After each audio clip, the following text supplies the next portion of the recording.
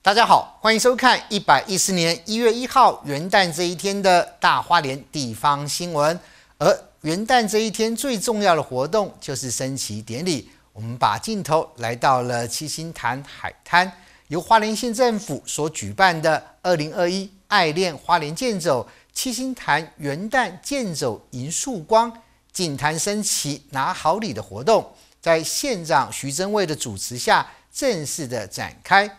从赏心广场出发，沿着步道海堤走到潮金渔场，全程来回约二点八公里。而且在进滩的过程当中，还加入了有趣的寻宝活动，并且肩负维护海洋生态和海岸环境的清洁美化工作。大家共同来守护台湾最美的七星潭海滩。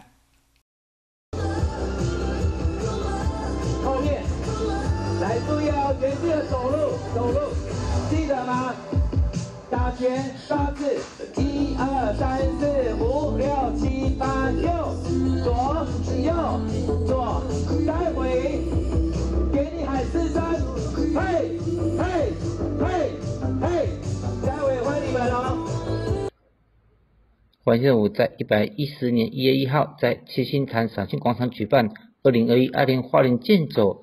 七星潭元旦健走与曙光，进滩升旗拿好康活动。而这次元旦健走结合进滩，从赏心广场出发之后，沿着步道海堤走到草金渔场，全程来回二点八公里，并且在进滩过程当中加入有趣的寻宝活动，让大家距离欣赏太平洋壮阔浩瀚之美，再次感受到花莲七星潭美景以及新鲜空气，舒展身心之外，同时也肩负维护海洋生态以及海岸线。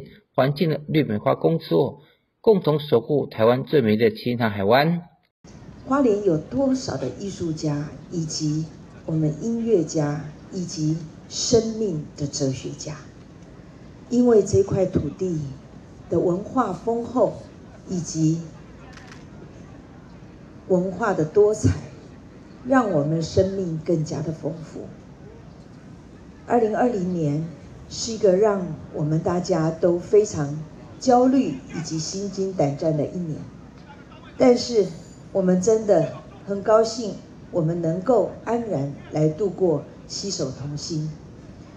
我们让花莲都能够一步一步的往前走，大步向前。